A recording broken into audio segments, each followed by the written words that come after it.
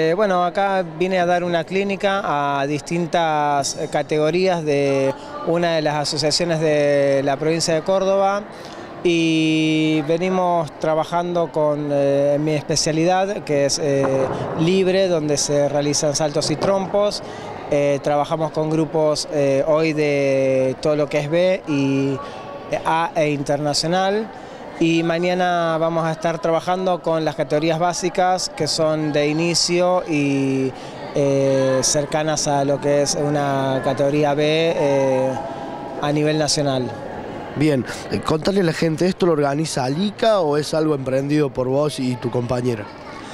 no, es por Alica, nos contrataron para venir a dar una clínica para reforzar el entrenamiento de todos los patinadores eh, que bueno, yo esta es la primera vez, eh, mi novia que es María Ángeles es la segunda vez que viene, así que van trabajando ya desde un tiempo con ella. Bien, contale a la gente la experiencia, eh, te vemos con, la remerita justo del Comité Olímpico Argentino, contale un poco cómo es tu vida en torno al patín en el deporte. Bueno, hasta el año pasado fui patinador internacional, representé a Argentina en varios mundiales y el año pasado tuve el gusto de estar eh, representando a la Argentina en los Juegos eh, Panamericanos de Toronto 2015. Eh, fui a varios sudamericanos y copas europeas. ¿Hoy en día ya no patinas más? ¿Te dedicas a hacer clínica y estas cosas?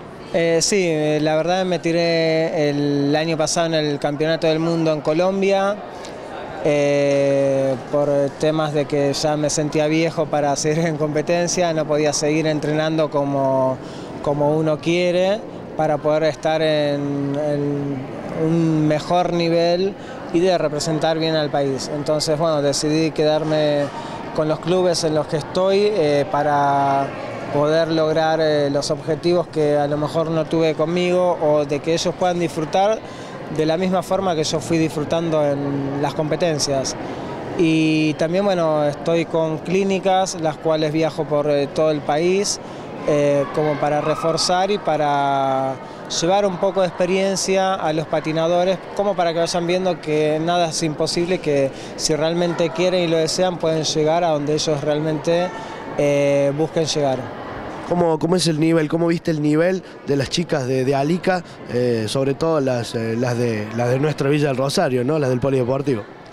Eh, yo sé del Nacional de la B, que fui viendo que se realizó en eh, San Luis este año, que vengo, vengo viendo a Córdoba cómo va trabajando. A mí me encanta cómo trabajan porque son muy unidos y trabajan siempre con un solo objetivo que es lograr que Córdoba brille, no importa si es de un club, de otro club, si es la contra, si no es la contra. Entonces, eh, lo que tiene Córdoba es que eh, son muy unidos y trabajan eh, excelente, ¿no? muy bien.